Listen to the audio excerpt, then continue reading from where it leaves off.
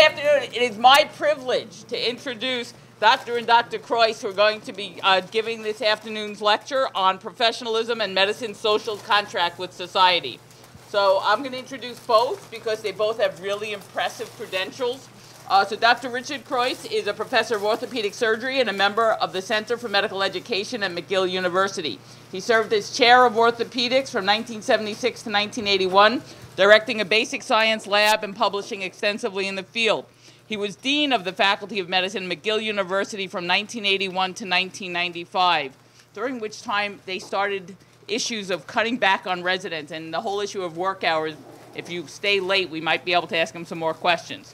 He was the president of the Canadian Orthopedic Association, the American Orthopedic Research Society, the Association of Canadian Medical Colleges, and he is an officer of the Order of Canada and of l'Ordre National de Quebec. And it would really not be Lainie introducing him if I didn't mention that he is Princeton class of 1951. Dr. Sylvia Cruess is an endocrinologist, professor of medicine, and also a member of the Center for Medical Education at McGill University.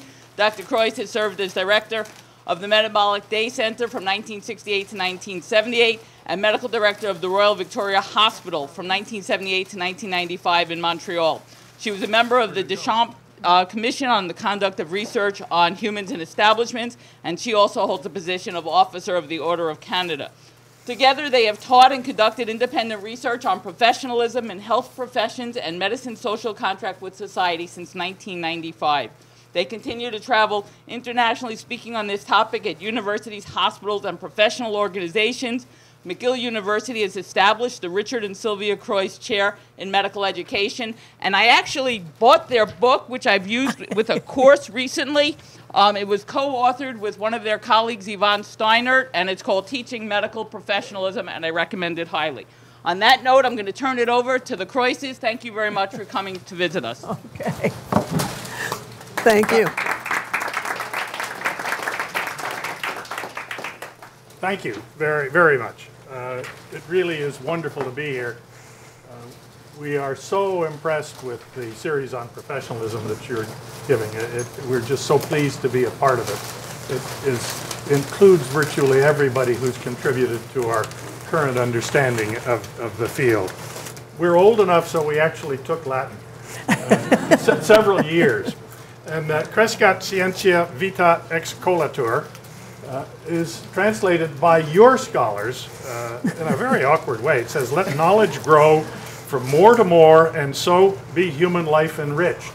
Now, uh, we quote Osler a lot, and that's sort of late 19th, early 20th century uh, rhetoric, I think. we consulted one of our uh, Latin scholars at McGill from the classics department, and he suggested that let knowledge grow that life may be enriched. It was a little simpler and a little more contemporary.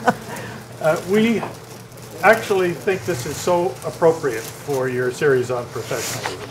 Uh, professionalism is, is very important to society, and I think you're contributing actually to the dis dissemination of knowledge around it, and uh, that society will be better if people understand in some way the relationship of medicine to society. We're going to talk about professionalism and medicine's social contract. Uh, we understand, uh, we're a little intimidated because there's some philosophers around here and, who probably understand social contract theory better than we do. Um, and they will know that social contract theory uh, uh, is not immediately applicable. It suggests that, the, that social contract is not immediately applicable to contemporary society. Uh, and we've had a discourse with other people on this. We've got to have some means of framing our discourse with society. By our, I mean medicines. And uh, social contract uh, theory has a history. It is uh, understood by many, many people. We and as we'll see later on, it is part of that discourse. So uh, with a, a, caveat that we understand there's some, some limitations to using social contract to describe our relationship, we will start. So uh, why professionalism, why now, and why the social contract? We thought we'd start with a few vignettes uh, just to sort of describe the situations. You are a patient in the emergency room with chest pain.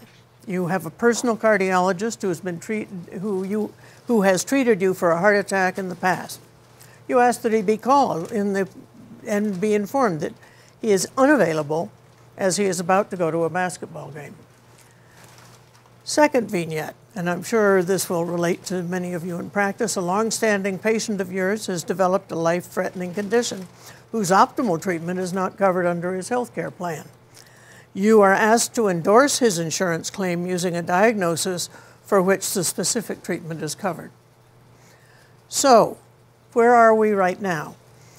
Well, society is better informed than it ever was.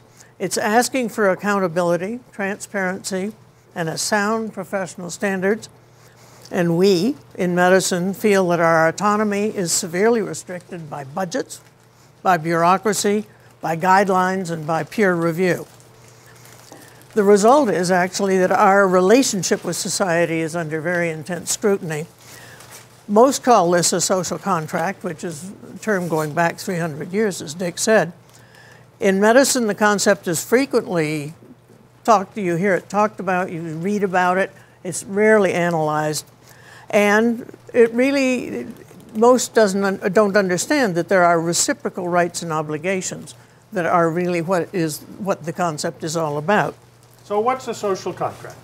Uh, 18th century uh, concept, Hobbes, Locke, Rousseau, Montesquieu, straight line back to them, uh, uh, philosophers, political scientists who have used it.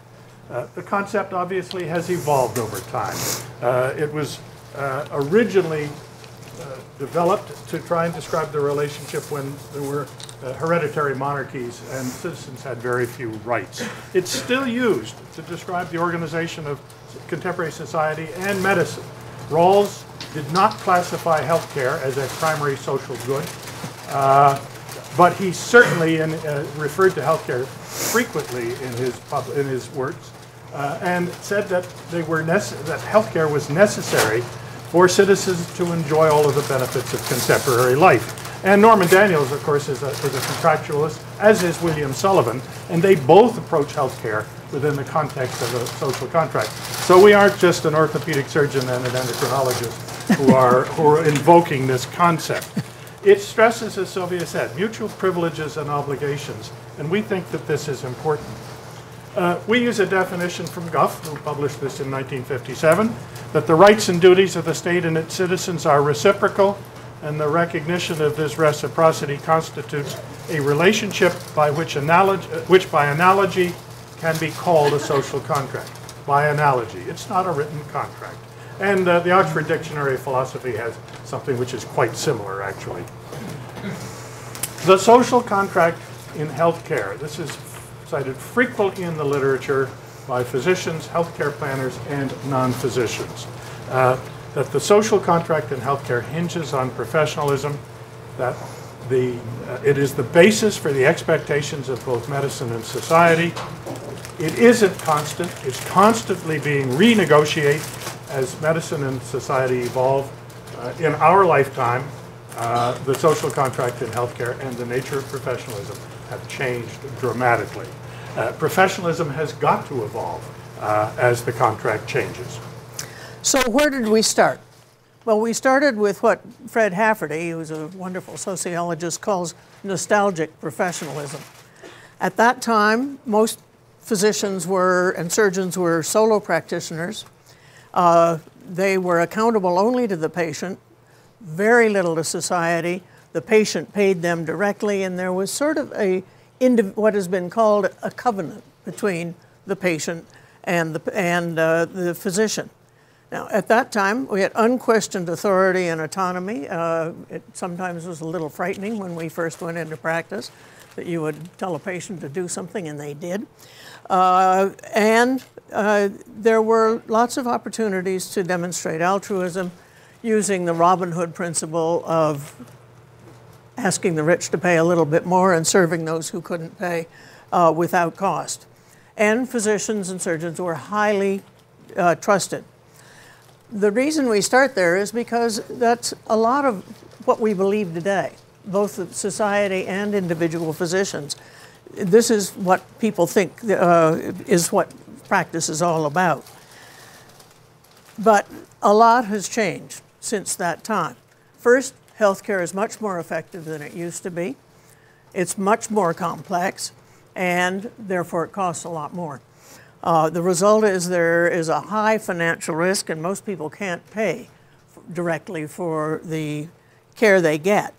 And third payer, party payers who've come in, whether it's the state, as it is somewhat north of you, uh, or the corporate sector, the insurance companies and the HMOs. This has changed the contract. But society also changed. Starting somewhere in about the 60s was the questioning society. Uh, they questioned why they gave trust to our profession uh, blindly and thought that we better get down and earn it. They looked at our altruism, thought well, we paid more attention to our own finances and, and to our own uh, self interest. And they said that we allowed incompetent, uh, unethical people to continue in practice without doing anything about it, mainly that we did not self regulate well. We also, along with this, had new levels of accountability. It was no longer just to the patient, it was to the payers and also to society. And this changed the contract too. Now, there are tensions in the contract, in this relationship with society. In the first place, is the practice of medicine a job? Or is it more than that? Is it a calling? And I think most people even the Marxists agree that it is more than just a job. The problem of altruism versus self interest, we all, uh, that is a very hard line to draw between what I get pleasure out of and being altruistic and what I can do for the patient. Art versus science and technology. We are increasingly surrounded by science and wonderful developments in technology. Where's the art of medicine gone? Uh, sometimes this is partly humanism. And autonomy versus accountability. The more accountable you are, the less autonomy you really have. Um, now, there are new ones. The question of whether the practice of medicine is a moral act or whether it's something to be sold. And I think that you have much more of that down here than we do, but it is a, whether it's a commodity. What is our duty to our patients, the fiduciary duty, versus our responsibility to society in a place with limited resources. Uh, not everybody can get at everything, and who's responsible for that? Uh, collegiality versus competition. Uh, the more competitive you are, the less collegial you are. The less collegial you are, the harder it is to self regulate, and the less self regulate is done because you're competing with somebody. And there's also the employee, many are now employees of, of some company or whatever versus the independent professional and nostalgic professionalism. So our, if you look at those tensions and, and clump them, uh, and we're sort of clumpers, uh, our threats come from two sources. The first are internal, within our areas of jurisdiction, uh, things that we must do and which, in, in some areas, which we have failed to do. The others, of course, come from outside. The generally, the nature of the healthcare system within which we must function, within which the people we are trying attempting to help learn must function, and those we see no alternative to some form of negotiation to try and alter that. Uh, so that will be a theme uh, throughout this. Uh, professional status is important to us. Uh, and uh, certainly the sociologists, uh, if you read most of them you will, uh, I think it, it, won't do much for your ego, but I think they're absolutely correct. They, they point out that, they, that it confers prestige and respect. Everybody wants their child to become a professional. Uh, it, we are generally trusted. Uh, we have autonomy in practice, less than we used to, but it's still there. We do enjoy the privilege of self-regulation. And of course, there are substantial financial rewards. So it's important to us to try and maintain aspects of professionalism. Um, but I think that in the last 10 to 15 years, outside observers, uh, generally from the social sciences, have concluded that, uh, so, that professionalism, professions are actually a benefit to society, unlike George Bernard Shaw, who said that professions uh, were a conspiracy against the society. Uh, Eliot Freidson wrote a series of books through the years, and I see your, uh, Andrew Abbott is or going to, uh, going to discuss his contributions. It was interesting, he went from being highly critical of the medical profession to, uh, in his last two books, he returned to a sense almost of despair, pointing out that professionals were benefit, beneficial to society. And Bill Sullivan, a friend of ours, has stated that neither economic incentives nor technology nor administrative control has proved an effective surrogate for the commitment to integrity evoked in the ideal of professionalism. I think that's probably why we're all here today. Somehow we have to inculcate professionalism in the medical profession so that it comes from within, because you can't impose those types of standards. Uh, and it's also important, I think, to point out to society that we are not just pursuing our own self-interest when, and elite status, which we have, as we're trying to defend professionalism. That there are observers in society who feel that the survival of functioning professionalism uh, is important to society. So, what is medical professionalism? And we'll just very briefly go through how we have approached it at McGill. Uh, we find it easier to divide the roles that a physician has into two that of the healer and that of the professional. Now, you don't wake up at 8 and become a professional and decide at 11 you're going to be a healer. You always are combining together. Uh, but we have found that it is much easier to analyze them separately. And the reason we do this is because the history is very different. There have always been healers in society. You know, the, med- the medicine men and women, shamans, and so forth have, have always had a role in society and a respected role. The professions arose in the Middle Ages in the guilds and the universities in medieval Europe and England. Uh, the learned professions were the law, clergy, medicine, and the military. And we won't go into why that happened. They uh, served an elite. Uh, they were not very impressive in society. And uh, there was some question, if you think of George III, of why we would ever go to a physician. Uh, you sometimes were worse off than if you just let nature take its course. Until science came along. And science came along at the same time of the Industrial Revolution. The Industrial Revolution gave people enough money to buy health care, and science, uh, of course, was worth, made it worth buying. Because of science, uh, the linkages to universities became very strong, uh, and most medical schools are university based, and most residency programs, all of them in, in Canada, but some of them here, are university based. And this brings us to the present. Two very strong links between the two are the codes of ethics, which describe the behaviors of both the healer and the professional, and of course, science, which empowers both. Professionalism, as you read about it, in, as the word is used usually, uh, is both roles. Uh, we have chosen to separate them. Now, uh, you can justify this by going to the literature and you can tease out the aspects of uh, professionalism uh, and of the healer. Obviously, these things, as Sylvia said, go back generations. Caring and compassion, listening to the patient, insight, openness, uh, respect for the healing function. We actually heal very few people, they heal themselves. We try and facilitate that. Respect for patient dignity and autonomy, advocate for the patient, and the fact that you're there for your patient. Those things are traditionally associated in the literature with the healer.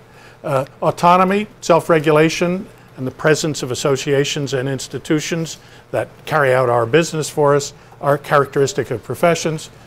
We weren't, uh, Hippocrates wasn't responsible to society, he was responsible to patients and students. Uh, that's a new concept, and of course, teamwork is something that's been added. In the middle are a host of uh, activities which are common to both, competence, of course, being the outstanding one.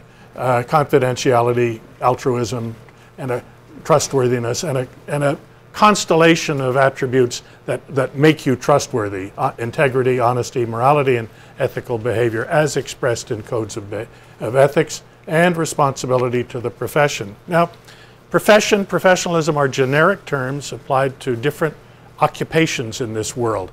Uh, change this to lawyer, uh, change this to adjudicator of disputes, you change this, but these stay relatively similar. That, that's one of the reasons why we think there's some logic to taking this approach. But, and it's a very big but, society doesn't need a lawyer, they need an adjudicator of disputes. Society doesn't need a professional, they need a healer. Professionalism is a means to an end. So uh, we can't remember the definition that we wrote and published, uh, and certainly don't expect anybody else to. When you create, uh, we believe that if you're going to teach and evaluate something in current medical education, you have to be very careful uh, in outlining what you're going to teach. So definitions really are important. Uh, we've traveled a lot, and we, the most common failing uh, amongst, we believe, amongst those people trying to teach professionalism is that they don't agree on a common definition which serves as the basis of teaching and learning and evaluation. This was designed to serve medical educators. Uh, it is all encompassing, which is why you can't remember it. I'll, I'll read it, but uh, it's certainly available in the literature. It doesn't matter which definition you pick if you're going to teach and evaluate professionalism. There are a half dozen very good ones in the literature. Pick one and use it. This is ours, an occupation whose core element is work based upon the mastery of a complex body of knowledge and skills. It is a vocation in which knowledge of some department of science or the practice of an art founded upon it is used in the service of others. That's straight out of the Oxford English Dictionary, uh, so we didn't make it up. Its members are governed by codes of ethics and profess, that's what we do when we recite the modern version of the Hippocratic Oath, a commitment to competence, integrity, and morality, altruism, and the promotion of the public good within their domain. These com commitments form the basis of a social contract between a profession and society, and society in turn grants. Uh, we don't have a God given right to our professional status. The profession, a monopoly over the use of its knowledge base, that's our license, uh, the right to uh, considerable autonomy in practice and the privilege of self-regulation. Professions and their members are accountable to those served, to their colleagues, and to society. So that's our concept of what profession consists of.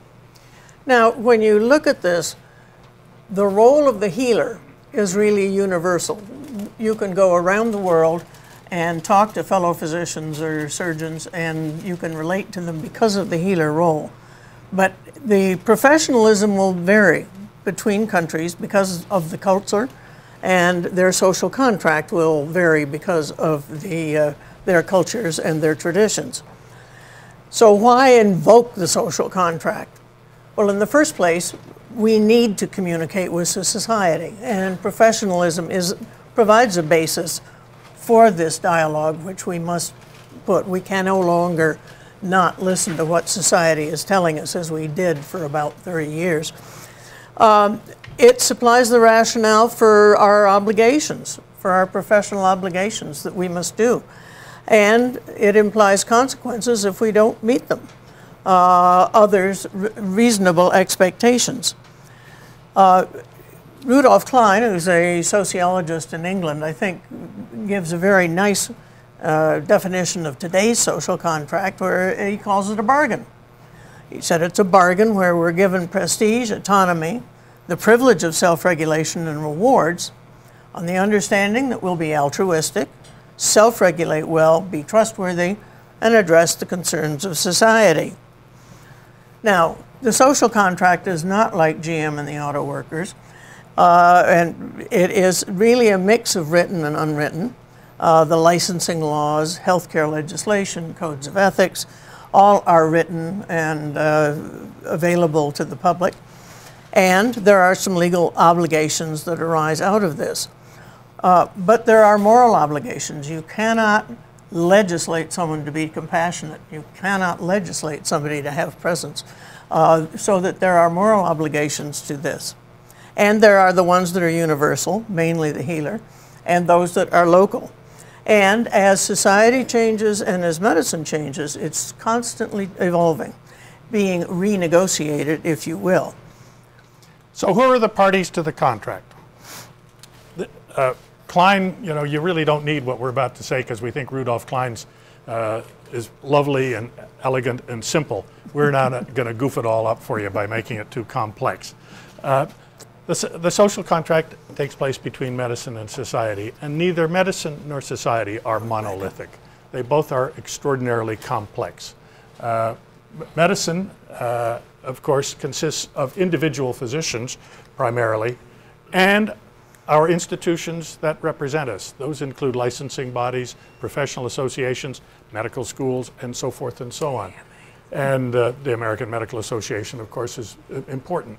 The, uh, uh, the stance which we take when we address society de- uh, depends on the interaction between us and our institutions, those chosen to represent us. And there's clearly tension uh, at that level.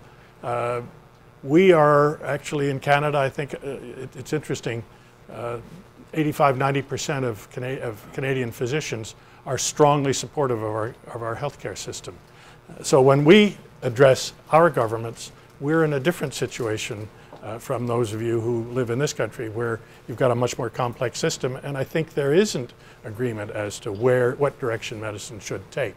Society in the, developed and democratic world, of course, consists of governments and uh, citizens. Now, within the healthcare field, we start with patients, uh, but there's also the general public. And patients will have wishes and desires which are different from those of the general public.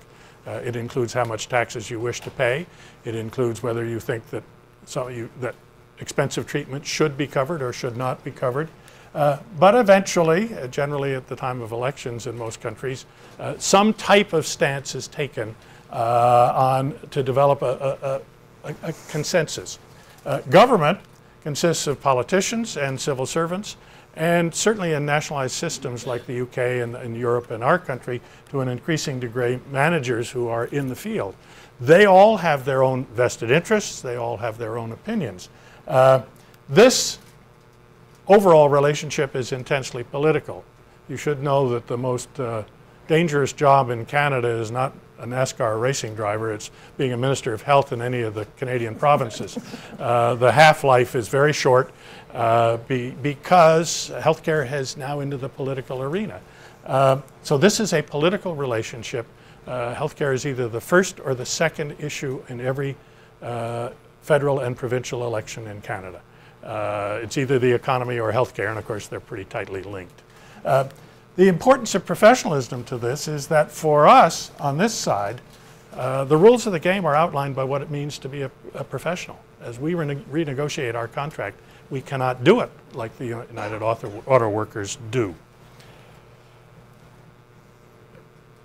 When you look at that uh, diagram, uh, you will see that uh, there are some uh, things that are not there because we believe these we, along with uh, uh, Rosen and Dewar in the UK, believe that these are modifiers of the contract. Uh, the healthcare system, the nature of the healthcare system, it may also be a, an expression of the contract, but it's, it, it's not in there. Uh, regulatory framework is very important. We'll talk a little bit about the UK in a couple of minutes. Uh, that uh, outlines the nature of the contract. The commercial sector has a huge impact in some countries, much less in ours. Great here other stakeholders, other healthcare professionals, uh, any organized group in society, and of course, finally, the, the media. Uh, the media doesn't just reflect public opinion. The media, particularly in the healthcare field, directs public opinion to a very great degree. So, what are the expectations that we have? And here's where uh, we could put this all on one slide, but it, it, it tends to oversimplify a very complex relationship. So if you start with what do the patients and the public want of us, of medicine? Well, they obviously need the healer. Uh, and they expect that when they go to a physician or surgeon that they're competent. They want to be assured that they are. They want to be able to get the care they need when they need it. Uh, and there are problems on both sides of the border on that. Uh, they want altruistic service where their needs will come before that of the individual physician. They expect that the practitioner will be moral, will have integrity and be honest, uh, and therefore trustworthy, and will follow the things that are laid out in their codes of ethics. And at this point, we usually ask our, our, our student, how many people have read the recent code of ethics of either here or of the AMA? Raise your hands. That's about right. That's just about what we find, and yet that is a public document. The public can read it, and that's what they expect you to follow. So, just as an aside, they uh, expect accountability, and openness, how we manage our affairs, and for a long time they didn't care, they now do. How do we self regulate? Uh, how do we handle conflicts of interest? Uh, they expect us to become be partners with them. It's no longer paternalistic, uh, and they uh, want to. Uh, they expect us to be a source of objective advice, especially in times of bioterrorism and epidemics and so forth. And the sociologists will tell you that there is no purpose for a, a profession unless it promotes the public good. So one should always look at actions in the way of does it promote the public good? Now, on our side, this is a contract. What do we expect from our patients and the public? We expect to be trusted because we know that if we aren't trusted, that we cannot do for the patients the things that we need to. You can't do invasive procedures if somebody doesn't trust you with a knife. Uh, we need autonomy enough to be able to make decisions for the patient that best fit their needs. Doesn't mean you can do anything, anytime, anywhere, but it does mean that we have the freedom. Nobody, uh, there are guidelines, but we can apply them as they seem appropriate. We expect a role in public policy, and we've had some instances where the, our role has been ignored and some disasters have occurred. Uh, we expect the public and the individual patient to share some responsibility for their health. If their problems are related to obesity and they refuse to lose weight, if their problems are related to smoking and they refuse to stop, we expect them to help, let them help us. Um, we increasingly in the modern generation expect to maintain a reasonable lifestyle where we can have a reasonable family life, and where we can follow some of our own hobbies. And this sometimes interferes with altruism. And we do expect rewards. And it's interesting in the polls that are taken of physicians that the main concerns they have are the non financial ones the question of trust, autonomy, and that. Uh, but we also do expect to get paid. Now, if you look at uh, government's expectations of medicine and reciprocal, uh, the, these are very similar, so we'll go over them quickly. Assured competence, morality, integrity, and honesty. Compliance, we, they really do expect us to comply with the details of the healthcare system. Uh, very strong emphasis on accountability for performance, productivity, and cost effectiveness. Uh, we certainly don't have to tell anybody in this room about that. They expect us to be transparent in how we uh, carry out our affairs. Uh, they expect team health care. Uh, they accept, expect us to be a source of objective advice. They certainly are free to uh, take or ignore that advice, as we've learned the hard way. And they also expect us to be a force for good in society. We expect of government trust, autonomy. We expect to be able to self regulate. That's been an important part of the contract. We're going to talk a little more about that. Uh, we expect a healthcare system that's value laden, equitable, adequately funded and staffed and with reasonable freedom within that uh, particular system. Uh, these things are, are actually very high on most physicians' lists. We expect a monopoly. Uh, we uh, have a long educational process. We believe uh, that we have skills which, are, which can only be achieved in that way, and we do not think we should be competing with non qualified people. And uh, we expect them to support us in term with non-financial and financial uh, words. And the word respect certainly comes in uh, in our dealings with our governments, and I'd be surprised if it wasn't true here. Now, the public also has expectations of government, and this is where it's interesting how closely they mimic some of ours. Uh, they do expect quality health care to be produced by whatever system the government has allowed to exist. Uh, but their healthcare system, they wish it to be accessible, to be fair, and to be value laden. Sounds very familiar to ours. Adequately funded and staffed. Uh, more a problem north of the border than here. Uh, they expect input into health policy, and they feel disenfranchised in public policy the same way our profession does. Uh, so that I think they're our allies. They expect uh, the government to provide a system where there's a reasonable cost, that it's open in how it works, and to be accountable for what is put in place. Now, the government also expects the public to not demand inappropriate use of resources. Uh, and to have reasonable expectations of whatever system is in place. Uh, they, again, expect the public to take some responsibility for their own health. They will try and uh, enforce the education that we try and give to, to patients on their things to do for better health, but they expect that people will take that advice. Uh, they expect uh, that there is support for whatever public policy comes out, uh, and they say that they want input into public policy and management, and I think sometimes take it. So, there are consequences when expectations are not met on either side. Uh, we've chosen to call them breaches of the contract. It doesn't matter what you, what you descriptive term you do use. Uh, what happens when we fail to meet reasonable societal expectations? Uh, certainly, if you look historically uh, in the, the, recent past, you can say that there is a change in the contract. Uh, there's decreased public trust uh, in the system, in the contract. trust in physicians and the, in the profession goes down, and we are, as a profession, much less trusted than we were a generation ago. Uh, there is decreased medical influence on public policy. Uh, we've seen that in Canada, you can see it in the UK, and I suspect it's been true here too. Uh, there will be diminished, if, if uh, diminished self-regulation and an increase in external uh, regulation, and there will be changes in autonomy. And I think we can look in many countries and say that's true. the Harvard Business School case study, though, is in the UK in the last 15 years. Uh, the Bristol cases and, uh, and, and uh, Dr. Shipman's history. The Bristol cases involve pediatric cardiac surgery on neonates that was carried out in Bristol uh, with a mortality rate of seven, uh, six, five to six times the national average. The estimate is that uh, between 60 and 70 babies died that would have lived if they had the normal mortality rate. It was due to the incompetence of the two surgeons carrying out the procedures. They weren't trained to do them. Uh, everybody knew, uh, the regional health authority, the department chairs, the Royal College uh, reviewed the program, noted the mortality rate, did nothing about it.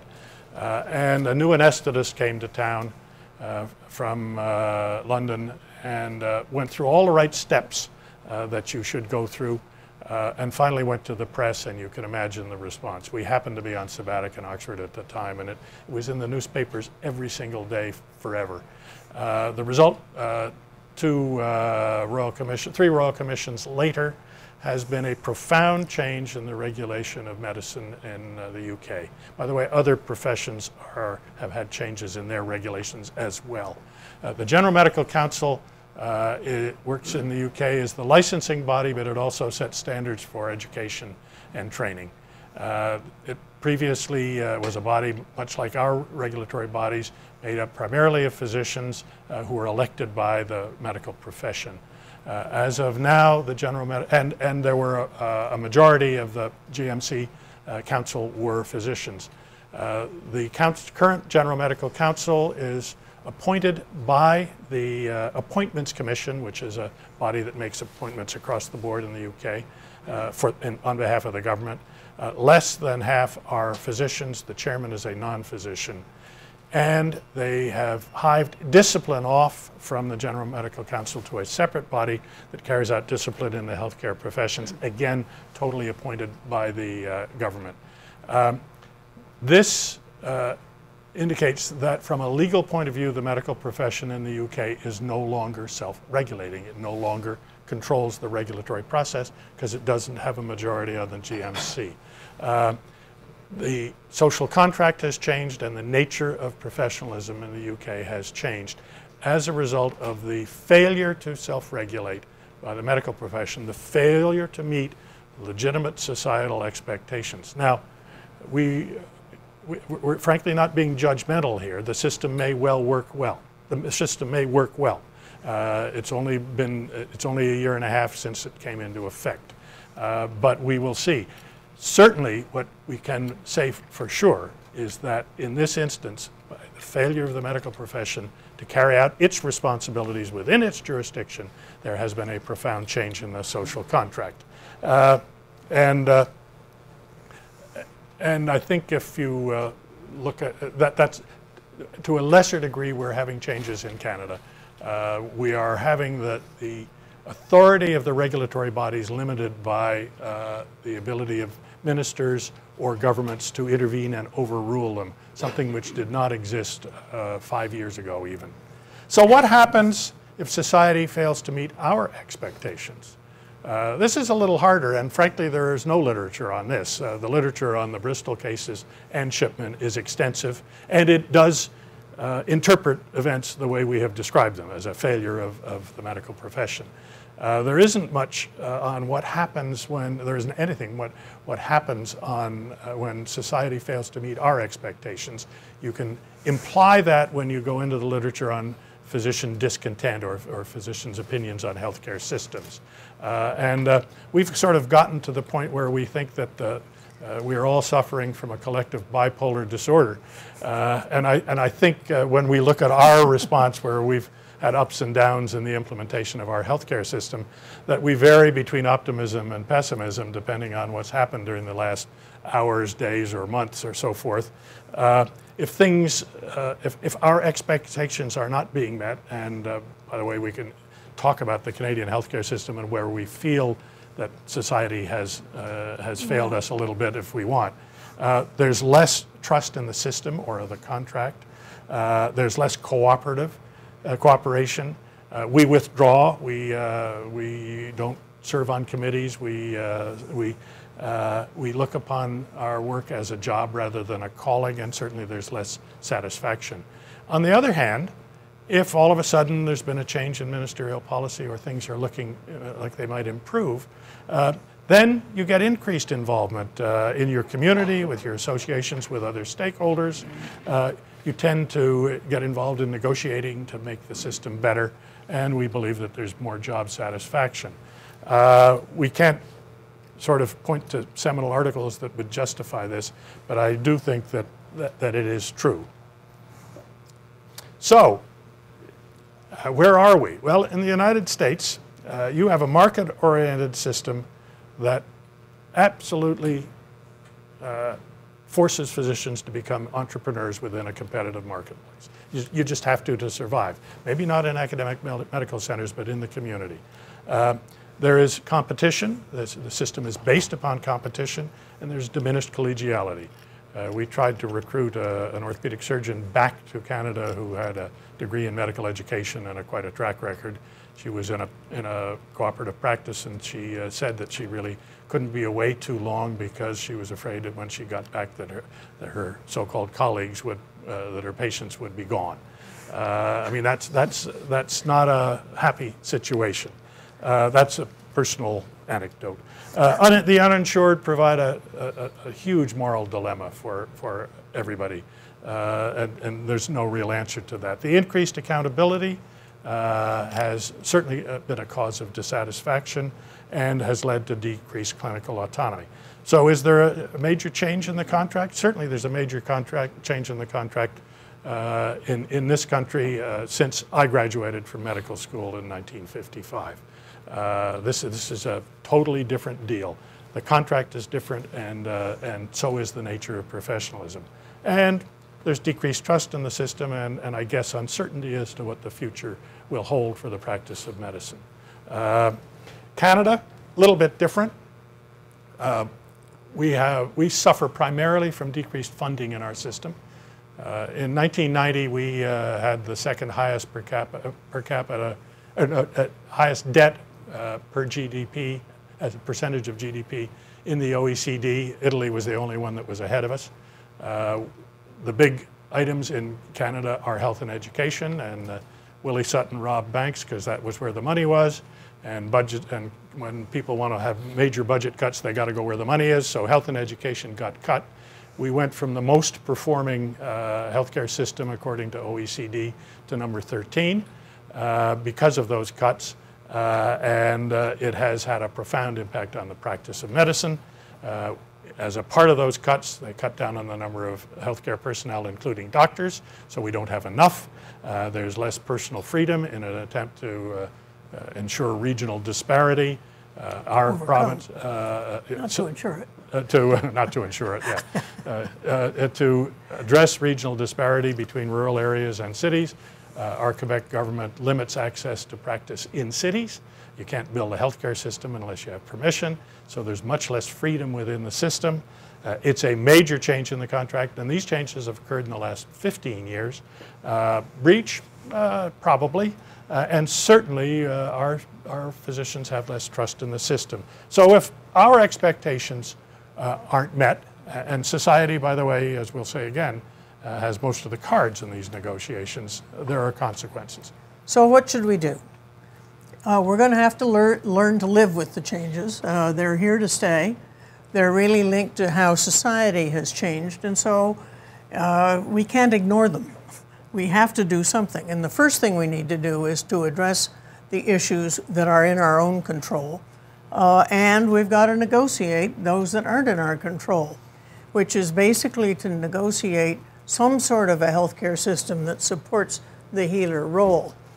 So, what issues can we control and should we get at? Well, the first is to ensure that all physicians understand their obligations to society and society's expectations. What are what is their what are their obligations as professionals in, in the healthcare? Teach professionalism to the social and the social contract, the concept of the social contract to medical students, residents, faculty, and in continuing medical education. Uh, because if you don't understand what the relation is, and it's interesting that the concept of the social contract in face of today's healthcare system feel the students feel empowered by it because they feel they have a way to into negotiating. Um, but we also have to address what our failures are. The perceived lack of altruism, the fact that there is a, a lot of attention paid to how much money is being paid to physicians, there's a lot of, of, of attention paid to lifestyle, and some uh, and the short duty hours, the question of what is the responsibility to the patient, the patient uh, who, whose, uh, whose, whose whose well-being comes first, out of the patient or not. We're going to have to deal with that problem. Uh, and we're going to have to deal with the conflicts of interest. Are you doing this for me because you make more money out of it? Or are you doing this because that's really what's needed? And we also, less here, but uh, uh, we have to look at our associations, our collective, uh, and their union like activities. And I think uh, even the AMA is, has been guilty of some uh, corporate and union like activities, not necessarily in the best interests of society. So have all of our associations. I'm not damning them in particular. Uh, and there have been some very badly managed conflicts of interest, which the media is delighted to talk about, and we'll have to be very careful uh, to manage them better and to be very transparent in our relations with the health, other healthcare industries. Uh, we'll have to be better in self regulation. We are our brothers and our sisters' keepers. We cannot allow incompetent, immoral, uh, unethical practitioners to continue without remediation and be followed. And we'll have to, we have the knowledge of how resources should be uh, distributed, so we're going to have to pay attention to how resources are distributed to social justice. So what should we do? Well, Sylvia's talked about what we do for, for those things under our jurisdiction. Somehow or other, we've got to address the external stresses. Uh, that requires a single or voice or a coordinated voice speaking for medicine. Um, I think you, you have multiple voices speaking for you here. We do too.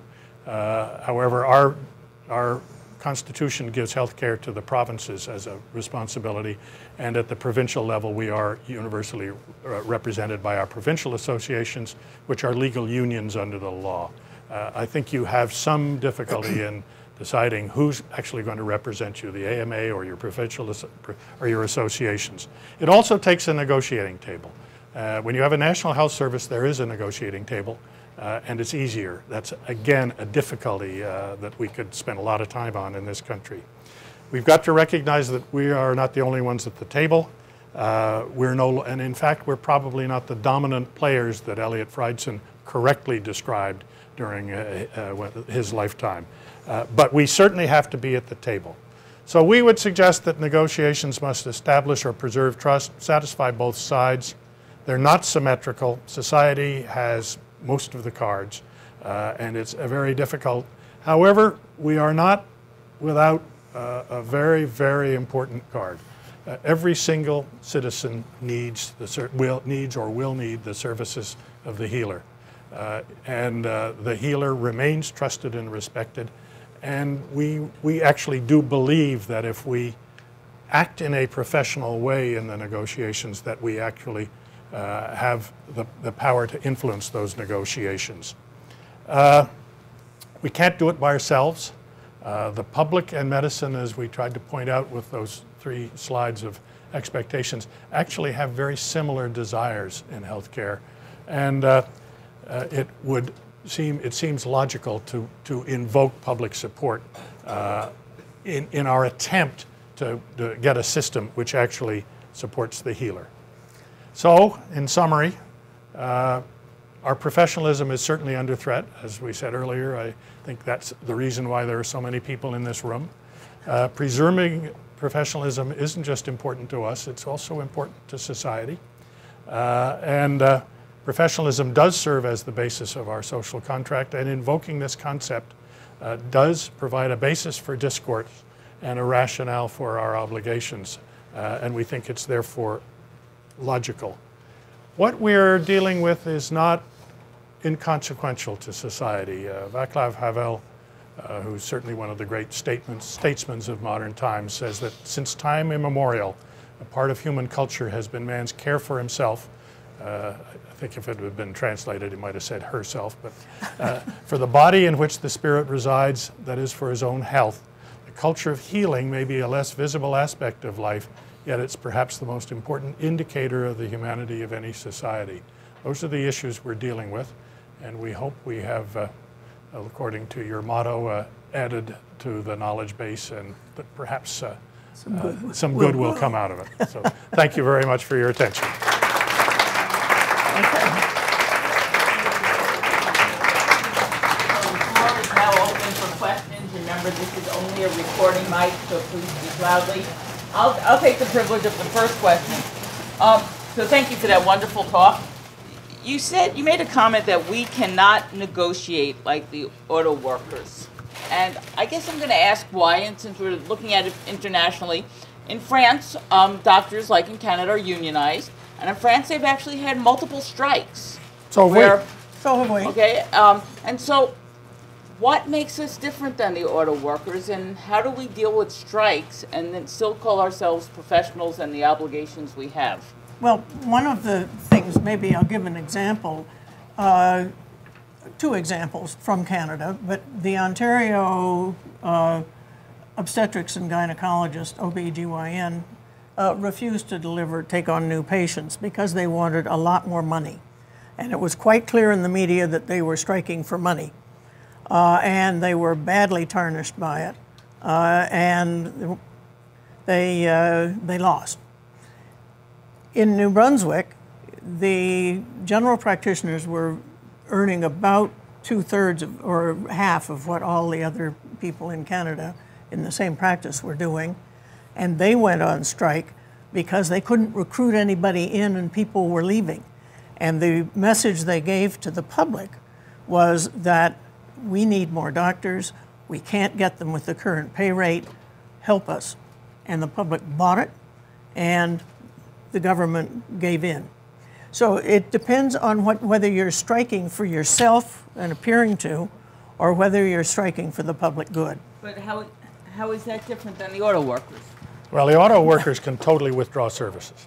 We cannot. And, and we can't. Uh, and in fact, uh, uh, you haven't had problems with strikes down here. You, you aren't organized. in fact, there are legal difficulties in actually creating doctors' unions, I believe. Uh, but in most areas where, uh, where doctors uh, where have the potential to strike, uh, they are classified as an essential service and, and are prevented from taking classical strikes where you totally withdraw services. Uh, so that's why we, one of the reasons why we say that it isn't, you, you can't use the same tactics. Uh, where, where we use tactics which sound like they are very self serving, we lose public support. And uh, for the medical profession to exert any influence on government, they absolutely have to have public support. The Ontario doctor strike in 1986 that Sylvia talked about was, was, was catastrophic for physicians, not just in Ontario, but all across the country. Uh, the medical profession was acu- uh, remains the highest paid single uh, occupational group in the country. Uh, the, the, the press public does knows not that. understand. The pub- public doesn't think we're, we're badly done by, uh, uh, but they will support us if it looks as if, the, as if we're being treated unfairly. I have some worries about the use of the idea of a social contract, and I understand you're using it loosely. Um, but still, the way you've set it up, it's a contract between something called medicine or the medical profession and something called society. And with contracts, there are bilateral obligations of various kinds. But as in what you're talking about breach, what usually that means is that if one party breaches, the other has um, lower obligations. Some things which would have been an obligation in the absence of breach now are no longer obligations. And what I worry about is that really the primary obligation of a physician is not to society in some very general abstract sense, but to particular patients. And so the metaphor of the contract suggests that if a thing called society breaches, the physician's obligations to what decrease? You don't want, I take it, to say to the patient's decreases, but it looks as if that might follow from this particular metaphor. And so that's why I'm wondering if the metaphor captures adequately the complexity of the physician situation that seems to go in the one direction towards institutions, society as a whole, but in another direction towards particular patients. Yeah, that's a, a very, uh, That's the dilemma. yeah, it's, it's, it's, it's a, a defect in the metaphor, if you will. The, the other very strong defect is that when we were a non secular society, we could ground our relationship both with patients and society and morality. Uh, and we've, this draws it away from a moral obligation to behave in a certain way. Uh, and those two defects, I, I think, are, are, are very real. Why don't you want to go back to this idea of a moral obligation? That is, that there is the capacity, a distinct capacity, that the physician has to provide a benefit. Precisely as you say, through training and opportunity and so forth, this is a capacity to provide a benefit that no one else has. Why doesn't that itself generate at least some prima facie obligation? Well, two answers to that. In the, in, the first place, uh, we, we don't go away from it, but, but I, I'm saying that it's, a, it's, it, it, it, it's apparent. Secondly, we're not sure how far morality is accepted by the current generation of, of students, trainees, younger physicians. Uh, we don't know whether, uh, whether that's uh, actually how powerful that remains. Uh, you, people in the room are going to have to answer that for us. Uh, we're from a different generation, but our, our observation is that, that this idea of reciprocal rights and obligations is more acceptable to the current uh, generation, and I put that, that level up to people in- certainly into their 40s. And I don't know whether people agree with that or not. But I think it, I think you're absolutely right. Uh, there is a fiduciary duty and a moral obligation to your individual patients. And I think that when strikes have occurred, at least in our, uh, those needs have always been met.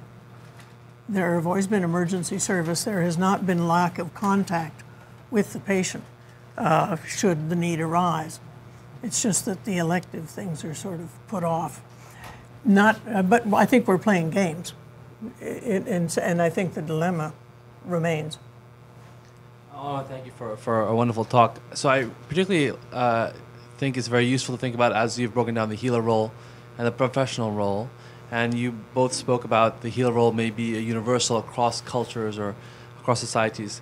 So I wanted you to comment on, on the idea that maybe that's not quite true, and maybe there are people, the healer role as defined by naturopaths or other systems of care, which while in our Western context there might be the minority of where people get their healing from, but in the other societies that might be the majority that they go to these other entities who can claim that healing role, but yet don't have the professional role or regulation that the state might want through the social contract, right? So, so and even the rise of such systems, even within societies like ours, in certain states and certain types of education, do you read that as now as a, a as as a result of distrust and because of this overregulation? How do you how do you make sense of these sorts of phenomena?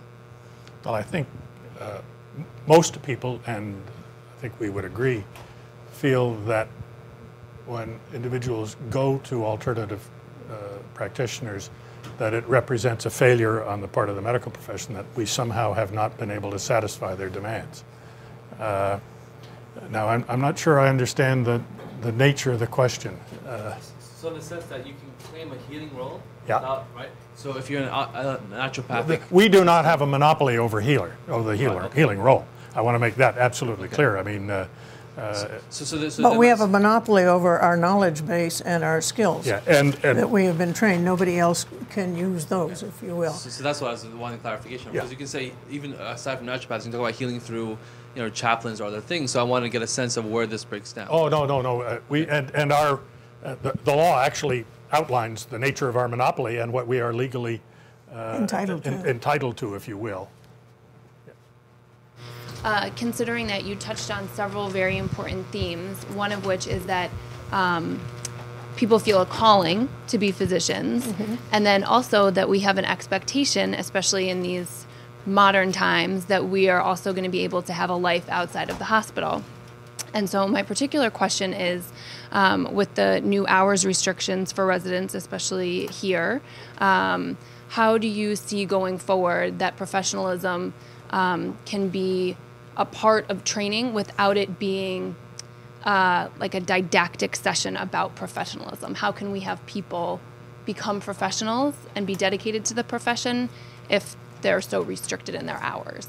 I think one of the biggest problems that, that residents face and short hours and so forth face is in ensuring continuity of care, ensuring the patient's feeling that there is presence, that I know what's coming next, I know who's going to provide it, and I know that the person who's going to provide it knows me or knows about me and knows enough, not just a bunch of numbers.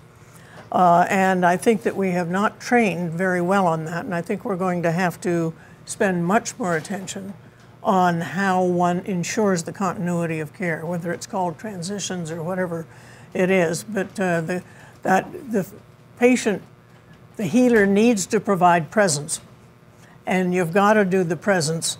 Uh, if, if it isn't you, you've got to make sure that the person to whom you are handing it off will provide that.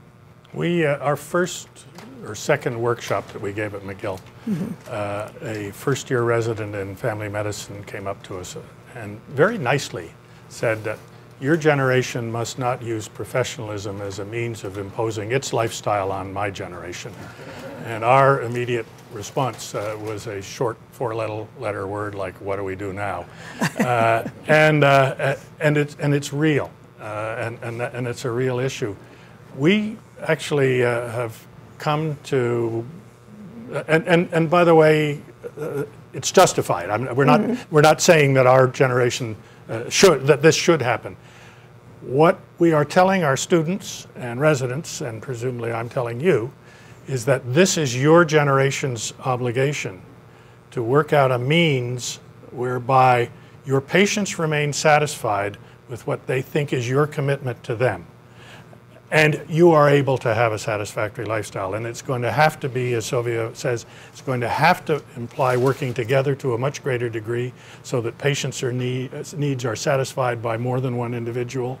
Uh, but if the general public and individual patients become convinced that uh, we work nine to five and that their needs uh, are, are not going to be met after five, uh, then the nature of the relationship between your, your, you and your patient and between us and society will change profoundly. And it will be we can't do it for you guys.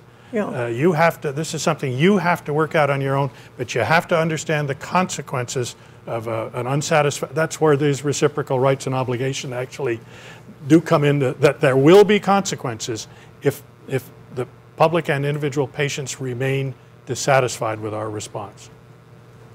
So for those who are still here, if but you could join me in a warm thank you to the Cruesses, and I'm sure they'll. And for those who are able and want to continue the conversation, I'm going to let the Cruesses sit and they can continue the conversation in that way. Thank you again.